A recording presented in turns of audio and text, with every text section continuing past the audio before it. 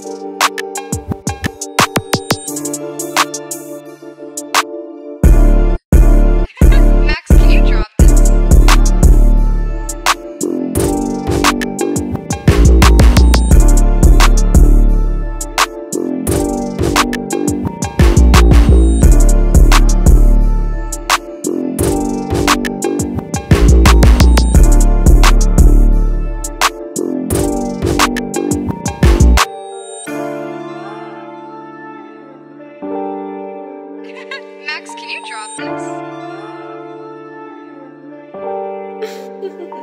Alan.